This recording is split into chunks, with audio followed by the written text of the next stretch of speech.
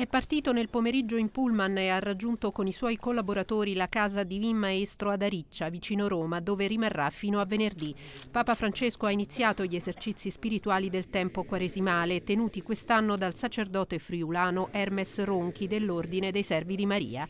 Il tema è dedicato alle nude domande del Vangelo.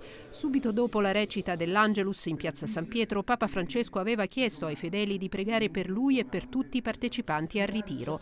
Come di consueto, consueto, nel periodo degli esercizi sono sospese tutte le udienze, compresa quella generale del mercoledì.